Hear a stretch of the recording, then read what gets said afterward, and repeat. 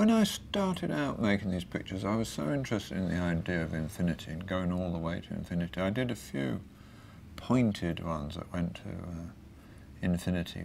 But infinity is a little bit further than people will go, I think.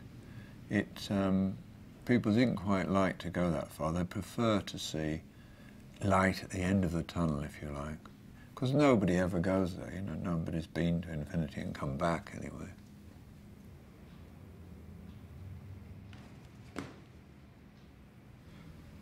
When I'm making pictures, I'm not making them for myself. I'm, I'm making them um, for other people.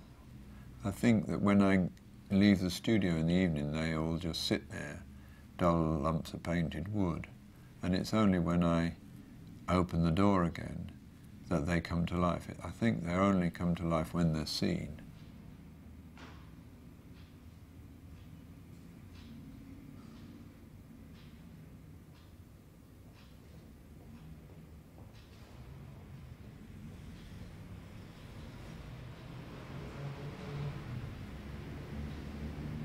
The irony is that uh, making these things that stick out a foot into the air and that so clearly are not uh, spatial illusions from where you're looking is that they are the strongest spatial illusions. They're stronger than if they were flat.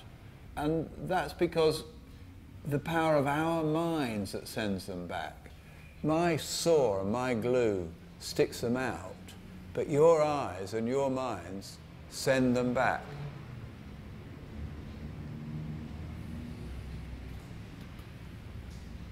What I'm doing now, just I'm just filling in uh, uh, low lights and highlights on some planking, and every little plank is um, another plank in the uh, coffin, as it were, of the observer. Every time I draw a line like this with a highlight, it leads your eye back. And all these planks, you know, 40 or 50 planks as they're added, will drive you and pull you and suck you back into my web.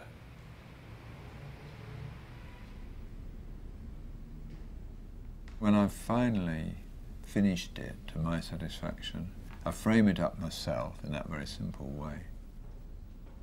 And then it's finished, but it goes on to live a life kicking around the studio, see it in different exhibitions, see it in different lighting, maybe sell it, it, it then is appreciated by people and it then has a life of its own and it leaves home, grows up, gets a job.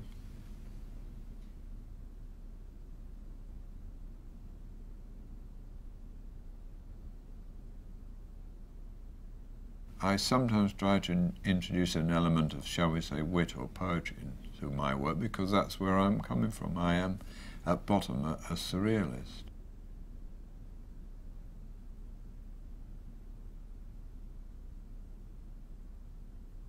Mondrian is obviously a good guy to um, impersonate in perspective because he's uh, they're all linear anyway, and it's a way of saying Mondrian is aiming to be perfect, but this isn't a perfect world. You may see a Mondrian from the side and he can't legislate for that. He can make it as square as he likes. But when you're looking at it from the side, it's in perspective.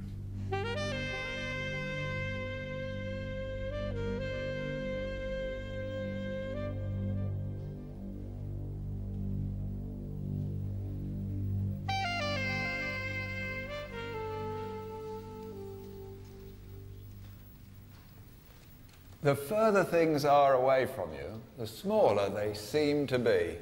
Books and bookshelves look small when they're in the distance and big when they're right up close. In this picture, I've applied that simple principle to presents and windows and houses, floors, to everything. As things go further away, they seem to be smaller. But what I've done is I've reversed this principle. I've made the big things far away and the little things close up. Now, when the viewer comes along to complete the picture, he or she looks at it, they do a kind of dance from left to right. So when someone's looking at these pictures, trying to accommodate this contradictory information, as they move to the left, the whole picture seems to be moving to the right. and vice versa. If they move to the right, the whole picture seems to be moving to the left. And again, similarly, when you go right down, you've gone right up in the world. And as you go back up, it's as if you were going down.